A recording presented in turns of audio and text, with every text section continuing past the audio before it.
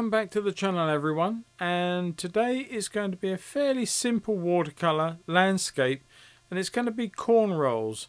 Now corn rolls are I'm sure not just a British or English phenomenon. They are um, probably sort of the way that uh, modern industry harvests corn and hay or wheat or whatever it is all around the world. Now many years ago nostalgically in England uh, we had farmland that was graced in uh, the elms uh, that were iconic in their shape and form, and giant haystacks with families and hay wicks and carts all doing the business in September of bringing in the harvest and storing it.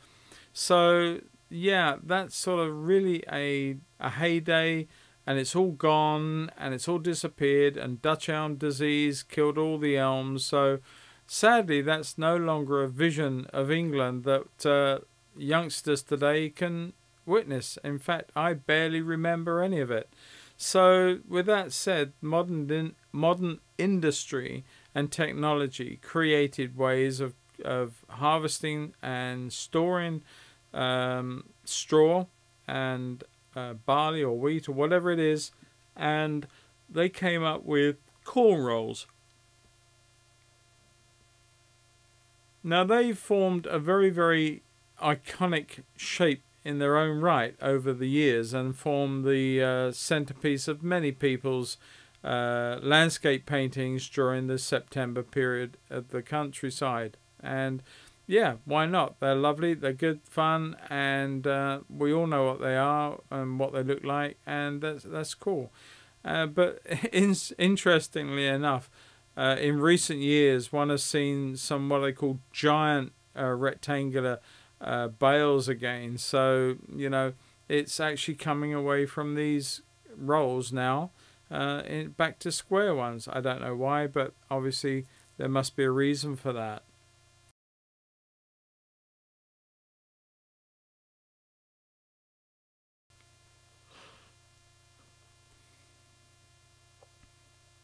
In the meantime, I'm drawing in my normal 4B pencil and uh, just trying to get the shapes affirmed and, and lead in lines to um, sort of draw the, the viewer into the whole picture and a large tree behind which will give me the uh, support and height.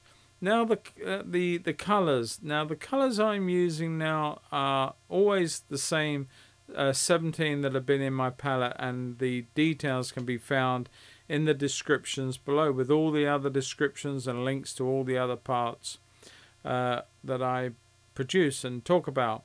But the additional colors are not there by chance because I've been using those in the past at different times, but I've always carried a second uh, palette around, just a small palette with six or eight colors in. And I wanted to, uh, how should I put it, minimize um, what I carry around in a way. Is It's not so much that it's heavy, it's also the fact that it's quite awkward to try and, especially when you're outside painting, to get two palettes out, have them sit on the uh, board or whatever you're using in some sense without making a whole mess of the whole thing. So I felt that uh, the lovely Craig Young box that I use uh, is far too nice, nicely put together, uh, precision made brass watercolor uh, box. I just wish it had more um, apertures to take paint. Something like 24 would be fantastic and still come up with the sort of design that I've got there. Well, I haven't got that so what I felt that I wanted to do was I used a rubberized glue, one that I remember from school that many of you might remember or know of is called Copydex and it is just a rubberized solution and it therefore would glue some empty pans to a few of my trays that I can work around and have a reduced area. But also, if it really didn't work out, the glue would uh, come away, would it would just peel off, and uh, I would have no damage to the uh, receptacle at all, and therefore um, not damage my lovely box. But if it did work out, I felt that it would be great and it would be an easier way of, of incorporating those new colours uh, without taking two lots of pans around. Now, the colours that I'm using, and again they're in the description below, and that are um, at the top is quinacridone gold, and then below that is cadmium red, and I'll tell you why in a minute. Then there's viridian and a lovely cobalt turquoise. I think that's what it is, but it is one of the turquoise family. And then below that I've got Prussian blue for very few or odd times. And then below that, one of my favourite blues is cerulean blue. Now the mixes that you've seen me do so far is a little bit of cobalt and cerulean for the sky and then I put a little bit of uh, red into that to bring it warmer as it came down to the horizon. And all my field colours so far have been ranging around raw sienna and a little bit of the yellow from, well actually it was the quinacridone gold that I put in. And now I'm mixing up some of the um, colours that I need, which is a, sort of the viridian and a bit of indigo and just making a very greenish but dirty grayish color which is the base color for the tree or the block of trees behind. Now the, I said this is not just about playing with some new colors this is also about playing with some new brushes and throughout this video I do end up going back to my other brushes for the final parts But to begin with, I just felt that I wanted. I had this brush given to me many years ago. It's a Chinese brush. I don't know if it's a quality one or not. In fact, I'm not that worried.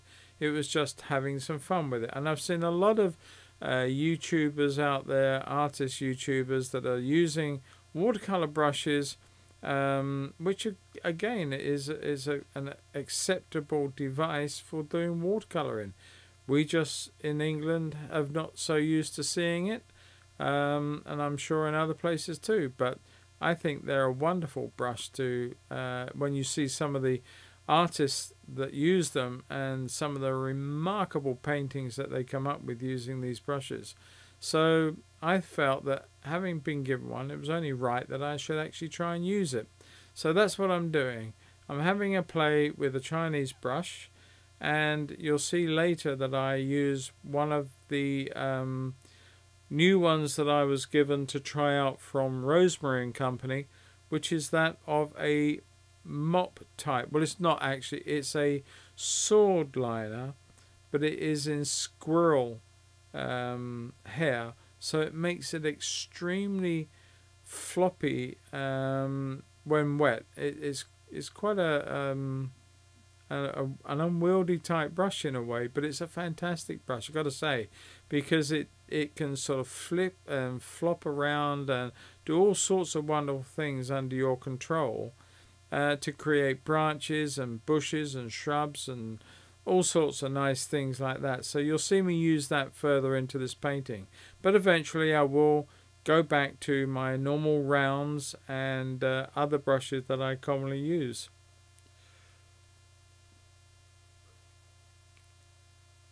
Now I'm just sort of using, uh, as I said, I pick up that sword liner, a squirrel. You can see how floppy those are, or maybe not from the way I'm painting, but they're leaving delicate little marks because that has got that brush has got a wonderful long tip to it. Um, as the the uh, shorter hairs go into the longer ones, and it just tapers off to this wonderful but floppy end to it. only way I can describe it really. But it's great because you can flick it around. Actually, those of you who saw my other video where I did a lot of rant, not ranting, but rambling on about things when I was painting that riverbank from Africa. I actually used it in the tree there um, to create the wood and the bark and the tree effects in that painting. So it's not the first time I've used this one, but I do enjoy playing around with it. And it's sort of breaking up that structure behind, whether it's a, well, it's actually a large collection of trees. Um, whether I'm bringing that off or not, I don't know. But I'm just having a bit of fun, and hopefully you're enjoying watching this. And you know, if you are watching it, uh, you can stop this anytime you like, and you can get your own watercolors out and have a play yourself. You don't need fancy brushes. You don't actually need all the different colors that I'm using. You can make um, other colors up to mimic what I'm doing. Uh, there are several other colors that you could use. Yellow ochres instead of raw siennas. Uh, lemon yellows instead of uh, quinacridone gold. Pinch that with a little bit of red into it. Um, there are so many other combinations.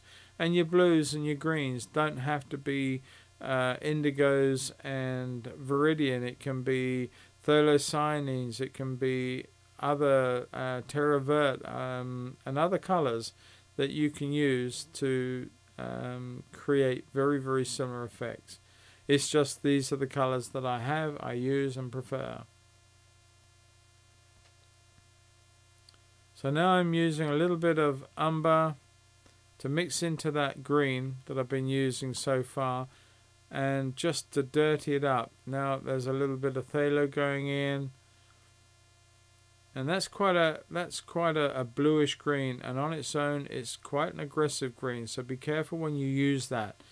I heard people or have heard people to say to steer clear of it because it is a, an unwieldy beast uh, is Phthalo green. But, you know, it can be. Um, but if you know how to treat it, then it's like anything else. If you treat it right, it will work right for you. And I rarely, if ever, and this is the the thing that I would say about Phthalo green, that if you've got it in your palette, try not to or avoid best use not to use it on its own on its own, it is let out the bag. Wow, you're going to know you've put it on your paper and you're going to probably wish you hadn't.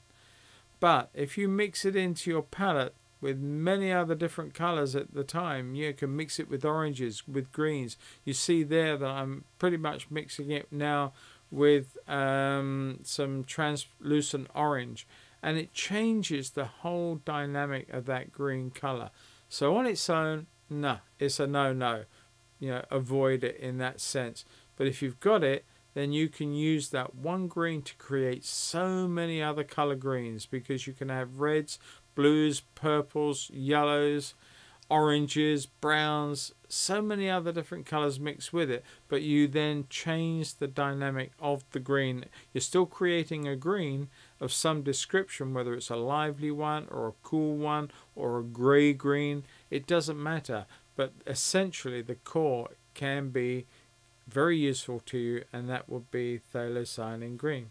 Now I'm mixing up a little bit of a hybridy orangey greeny mm, what would you call it a gungy color. But it's just to set up the shadow side of the corn rolls while I'm waiting for the trees to um, go off in the background so I can get another layer. And this painting really is all about layering. It's not about so much wet in wet. There are one or two areas of that happening, but essentially we are painting a layer, we're allowing that to dry before we move on to the next layer. Now if you want some spread in your paint, if you're adding a new layer and you want it to spread a little bit, then don't wait for that layer before to totally dry. If it's slightly damp or slightly moist, it will allow the paint to spread. And that's part of the well that's one of the biggest secrets of watercolor painting is understanding the wetness of your paper before you move on. It's not just about putting paint or watery paint or not so watery paint on. I, I, yes it is. But it's also more about understanding how wet your paper surfaces before you can you carry on painting and before you put the next layer on. And if you can understand that over time, and it's not something that I'm going to sit here and tell you and, and you're just going to off and go and do, that's not going to happen. It comes with lots and lots of practice. So if you're prepared to do that and then try out and understand it on either main paintings or scraps of paper that have got wrecked, and we all have them, I've done them, I've got a pile of papers that are wrecked, and I'm going off track. But what I'm saying is, if you practice with these bits of papers, you don't have to make it an expensive exercise in using good paper. Just play around with bits of failures and test out the theory of wet and wet or less wet or damp and just see how paint moves in those different scenarios moving forward. And you'll find that things like that or doing little exercises like that are a fantastic way forward. I think what I might do is one of my videos coming up in the next few weeks I'm going to do just that. I'm going to sit back not paint a picture but I'm just going to play around for you and show you what I mean about the way that the paper will react in different ways and how you can start understanding those ways by understanding how wet the paper is at any given time during the process of painting it. I've let this painting go on. I haven't told you too much about my colour mixes, but you know the um, um, order of my paints. It's written down in the details below. So if there's a colour that you're not sure I'm using, you've only got to look down that list and look at the video and it will be very evident as to which colour I've just dived into. And I think one of those I picked up was uh, more raw sienna there. And it's a lovely yellow colour. Um, it's not as bright as some, but it's an earthy colour and it can actually uh, lend itself uh, in so many nice ways without getting into harsh cadmiums or transparent yellows like quinacridone or aureolin or Indian yellow.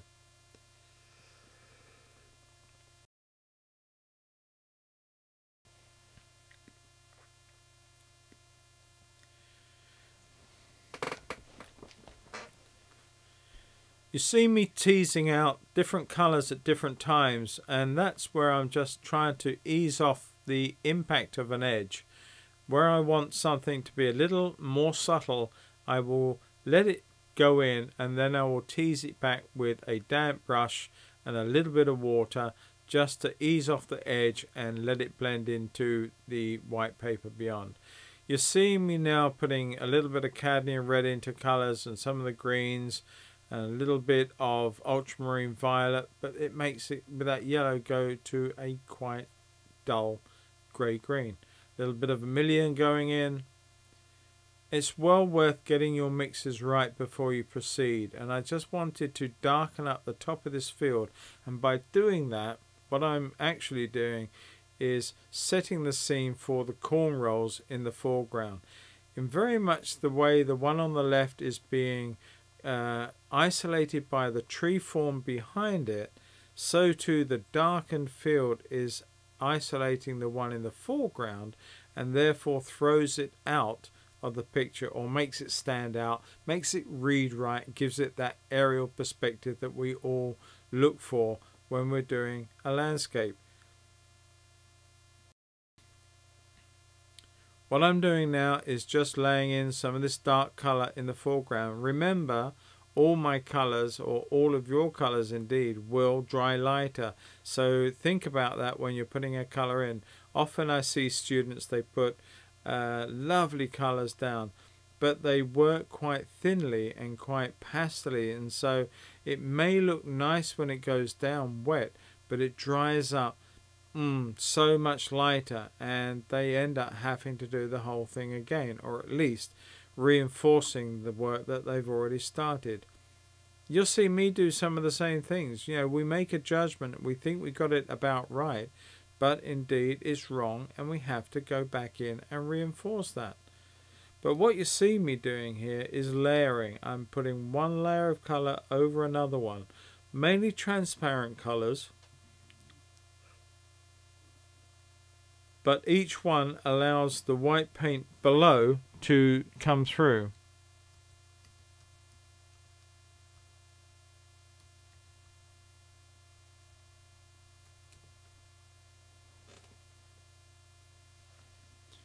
Little bit of nice, nice yellow form on top and um, that just strengthens the yellow but it can get a little bit too yellow so you got to watch that at the end of the day that corn has got to mimic somewhat what is in the field too. So you'll see me lifting some of that out now. I felt that that was just a little bit too strong.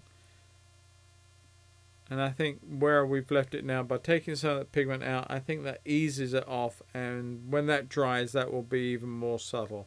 I'm using a bit of cerulean blue now, just to give a nice complementary. When it hits that yellow, it's going to turn more green.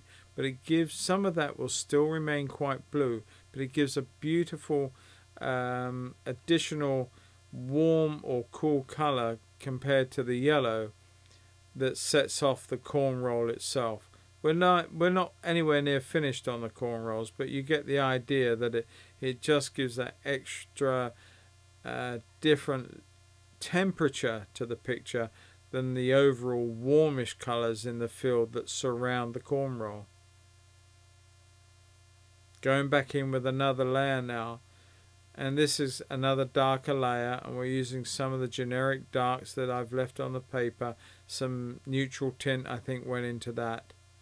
Some umbers, bit of the blues that remain. And I'm picking up colours that are sort of generally on the palette that aren't being used in, the, in terms of a purpose.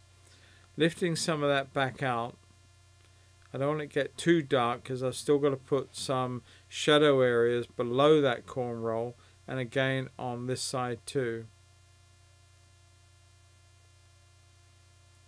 Nice thing about heavyweight paper is it allows you to keep working the painting long after you put that color down and the paper stays quite damp and allows you to re I don't know reignite re-wet the color and make it carry on working. Now I'm going back in with a darker value, not so green this time, a little bit more umber, a bit of neutral tint going in there to give me some more structure to the tree. And although I'm not trying to pick out individual trees, I'm just suggesting with the, the tip of the brush little branches or trunks coming down to give it a little bit more form. So a little bit of greenish yellow going into one side to lift the color and lift the expectation on towards the light. But once more, we're reinforcing that dark value around that corn roll, and that additional dark just put in throws that corn roll even further forward. It just gives you that beautiful perspective aerially um, or atmospherically across the landscape a little bit of um, ultramarine violet going into the mix now just to cool it down as we go further away into the distance and that tree line or whatever it is at the top of the um, field and if you got up there it would be quite a large tree form so uh, from this distance of course it looks nothing much more than a bush but uh, I'm trying to convey the sense that it is a little cooler than the tree forms in the foreground. And again, I'm teasing the brush in and making nice little shapes on the edge against the sky. More of that um, cobalt, uh, sorry, cobalt, ultramarine violet going in. Just to reinforce that cool colour and darkness on the trees uh, in the middle ground here.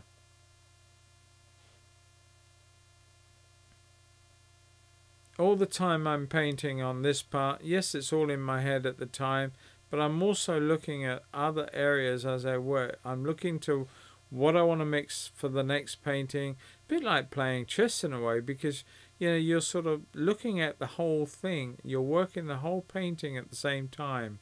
You're making decisions way ahead of where you are now. You're thinking that you know we're doing this bit now, that's for sure, but you know I need to do this, I need to do that and so you're planning for your next color mixes in your head as you're doing this one. Or at least I am, anyway, I don't know. Maybe you all paint very differently. But for me, I sort of look at a painting and I'm planning. And I'm looking at, and I'm doing plein air outside, and I'm looking at a scene, and I'm I'm planning the painting, I'm planning the drawing, I'm actually painting, planning the colors as I'm sketching. But often when I'm outside, is another story. I don't draw with a pencil unless I'm doing a watercolor plein air. Uh, if I'm doing an oil plein air, then I draw with the paint. uh, which is for me a very different process. Uh, watercolors is the only medium that I use a pencil for, uh, other than of course doing some graphite work. Now I'm going back in and reinforcing that corn roll with a darker value and the same on the one right in the foreground and again I will soften the edge so it's not going to be a very very harsh edge it will get softened it may not be straight away but the paper as I said before is quite forgiving and will allow you to do that there we go damp brush no pigment and allow the water to do its thing and soften the transition between the light and the dark after all, it's not got a crease in the roll, it's a subtle change. So you need to give it a subtle um, transition between the light and the dark, uh, or vice versa. Using a lot of cobalt, uh, I keep saying cobalt, I do mean ultramarine violet. Ultramarine violet, and I think a bit of neutral tint going in to give me that heavier, dark, shady side to the corn roll it's against the sun, but again, it just sets up the whole thing as a three dimensional object sitting in the field in isolation. And that's what we're trying to convey. These uh, extremely heavy, very large objects that just adorn a field for a few days until the farmer uh, dictates that they get picked up and taken into store.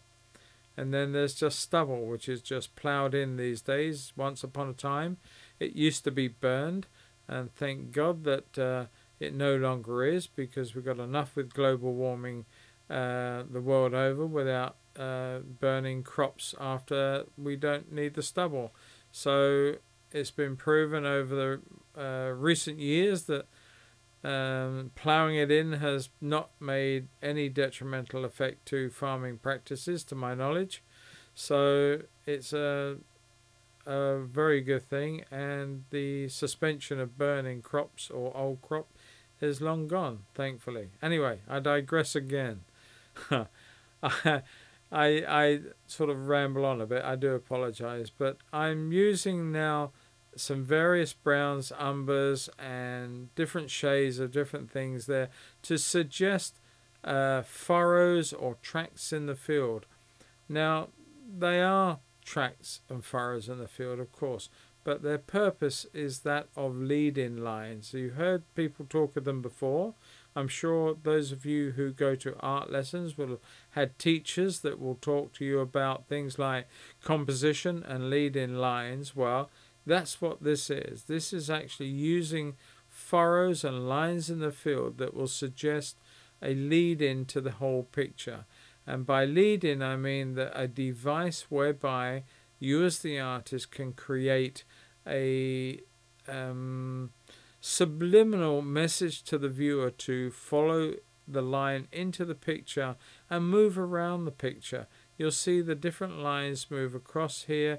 Uh, off to the um, first bale, then other transitional lines which go across uh, to the second bale, and then again other lines that carry on all the way up to the top of the hill.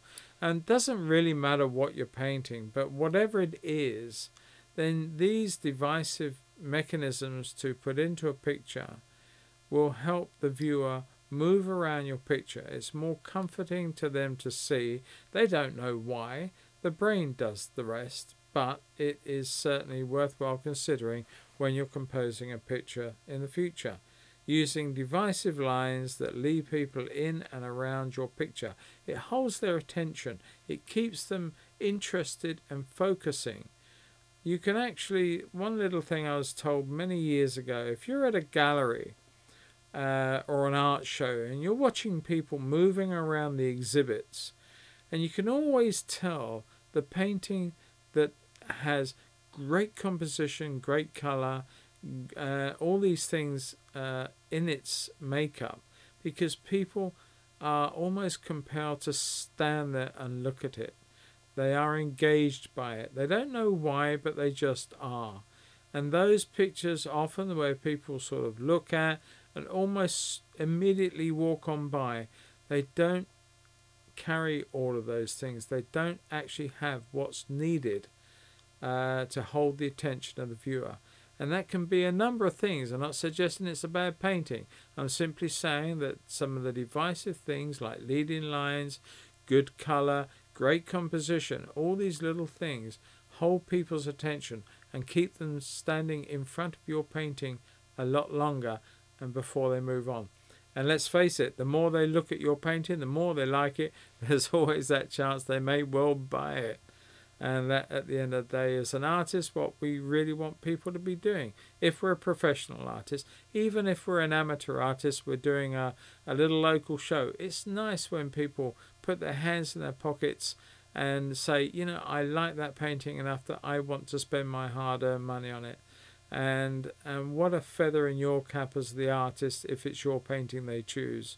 I still get a buzz from it, even after all the years I've been painting as a professional. Anyway, I've rambled on and we're at the end of the painting. Um, I hope you've enjoyed it. And if you have, please put comments in the bottom. That's fantastic if you would. And also, um, put the comments about what you might like me to paint. And don't forget to pop on over to my Patreon page. The link is in the details below. On my Patreon page, there are paintings there uh, in full time and there are also some there that you've not seen or will not see on YouTube. They are unique to Patreon and uh, you're free to look in there. It doesn't cost you any more than one or two cups of coffee a month to become a part of that and enjoy uh, a lot more content from me uh, moving forward. Anyway, I'm not, that's enough of that. But in the meantime, Share this video, please, if you wouldn't mind. It would be great because if you've enjoyed it, it's nice to share it so that other people can enjoy it and get something from it. And it also helps to grow my channel.